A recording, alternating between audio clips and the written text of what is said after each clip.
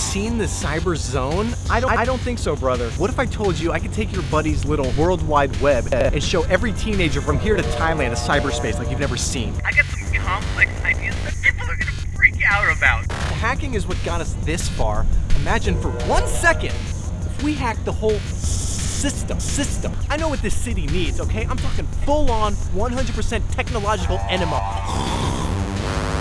Nothing like biting into the Big Apple. I'm talking real time interaction, cybernetic implants, artificial intelligence. It's all right here, man. It's like somebody took punk rock and added a motherboard. So, who are the badasses of my generation? The Elvis, the John Lennon, the Johnny Rotten. Uh, sorry, Pops, maybe I never picked up a guitar. I was too busy playing hopscotch in the Pentagon's mainframe since I could blow a snot bubble. This? Oh, nothing special. Just picked it up in Japan. Made my own custom modifications, of course. Benjamin Franklin, remember that guy? Tried to tie a key to a kite?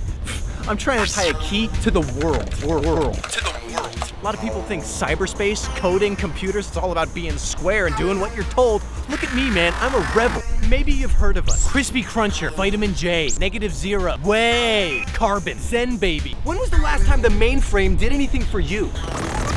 When was the last time the mainframe did anything for you? New York's a pretty crazy town, online and offline. You're gonna need a leader that understands the digital realm like I do. My name's Andrew Stinger, better known online as the Zyper. In New York, I wanna be your mayor. I'm talking full on 100% technological enema. I know what this city needs, okay? There ain't nothing like biting into the Big Apple.